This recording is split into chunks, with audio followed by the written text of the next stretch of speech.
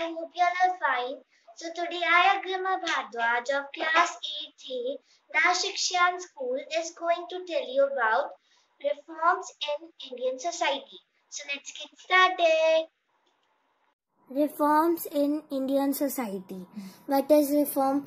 Reform means improvement and amendment of something that is wrong, unsatisfactory and corrupt. It means amendment and improvement of wrong, corrupt and unsatisfactory things in Indian society.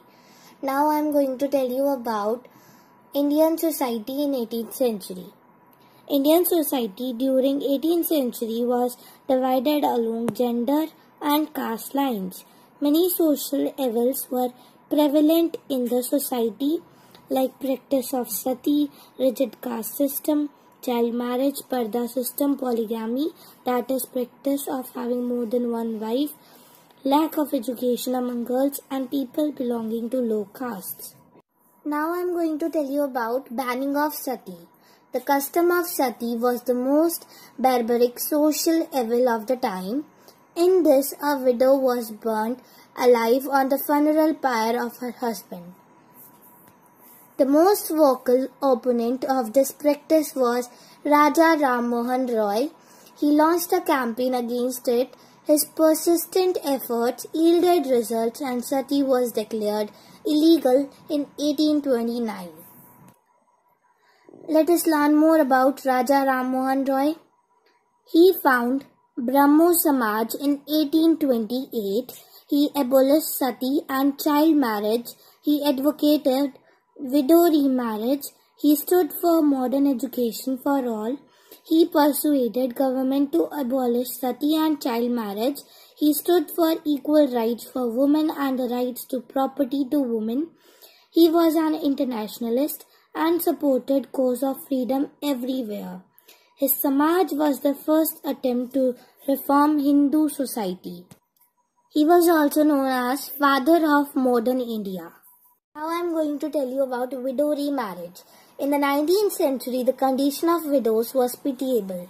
They were not allowed to remarry, nor could they attend family and community functions because their presence at such happy occasions was considered inauspicious.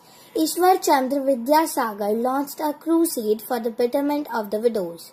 He also warned that widows should be allowed to remarry if they so wished. His efforts led to the passing of the Hindu Widows Remarriage Act in 1856, which permitted widow remarriage. People who were against the remarriage of widows opposed and boycotted Vidyasagar. Pandita Ramabai Ranade was another social reformer. She dedicated her life to the cause of women's rights. She set up a home for widows in Pune. Women were given vocational training there. Now I am going to tell you about education for girls. Today most girls go to school and receive education. But the situations were very different in the 19th century. Girls then were discouraged from attending school. Some people believed that girls who were educated would not find a husband. Others were of the belief that the husband of an educated woman will die young. Many reformers felt that to improve the condition of women, education for girls was necessary. Many reformers in Bombay and Vidyasagar in Calcutta set up school for girls. With the inauguration of first school in mid-19th century, many people feared that school would take the girls away from home and prevent them from doing the domestic duties. Many people believe that girls should be kept away from public spaces as they believe that they can get corrupting influence. In aristocratic Muslim families in northern India, women learned to read the Quran in Arabic. They were taught by women who came home to teach. Laws against child marriage. During that time, children were married off at a very early age. The reformers protested against this and after a lot of struggle, the Child Marriage Restraint Act, also known as Sarda Act, was passed in 1929. The act fixed the minimum age for marriage of girls at 18 and for boys at 21. Social reformers criticized caste inequalities. Paramhans Mandali was founded in 1840 in Bombay to work for the abolition of caste.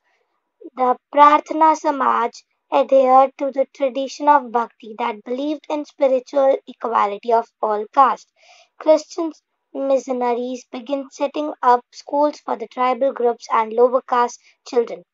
There were availability of jobs in cities and factories. Many poor people from the village and small towns who belonged to low caste got the jobs as labor. The work was hard enough, but the poor had got a chance to get away from the control of upper caste landowners who exercised daily humiliation over them. Army was another option in jobs. A number of Mahar people who were regarded as untouchable found jobs in the Mahar regiment.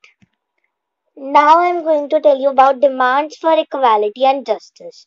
By the second half of the 19th century, people from within the lower caste began organizing movements against caste discrimination and demanded social equality and justice. The Satnami movement in central India was founded by Ghasidas, who came from a low caste, organized a movement to improve the social status. In eastern Bengal, Haridas Thakur's Matua sect worked among low caste Chandala cultivators. Haridas questions Brahmanical texts that supported the caste system. Shri Narayan Guru a guru from Azhava caste given his views on caste system as one caste, one religion, one God for humankind. Now I'm going to tell you about the fight against untouchability.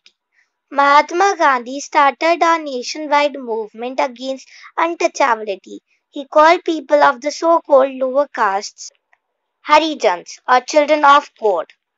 He founded All India Anti-Untouchability League and started Weekly Harijan.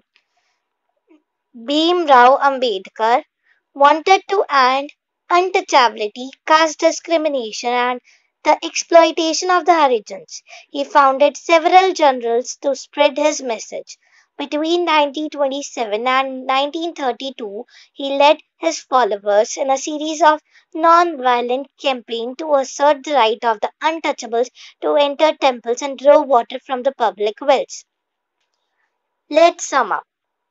To find socio-religious evils, many reform associations were formed in the 19th century.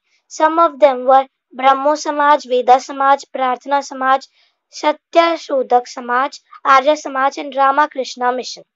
The reformers wanted to emancipate women. Due to their efforts, the condition of women improved. Sati was declared illegal. Widow remarriage was legalized. Hundreds of schools for girls were opened and child marriages were forbidden by law.